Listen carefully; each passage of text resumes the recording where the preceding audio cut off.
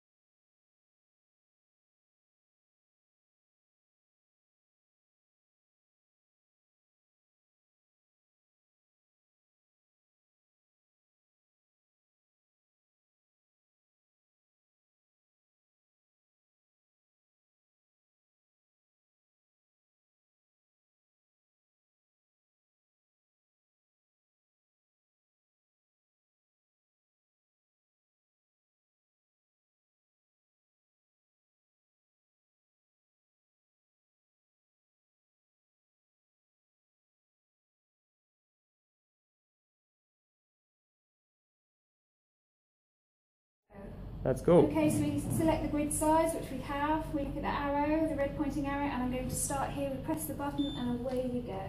It's really important that we keep to the lines to get a good outcome all the way along. Oh, right, that's it. And there I'm up. So if you go um, faster, it's going to compromise the accuracy a little bit. Oh, okay. Yeah, okay, that, that's the okay. only reason for the accuracy. It'd be great to be able to find a cable, wouldn't it? Absolutely.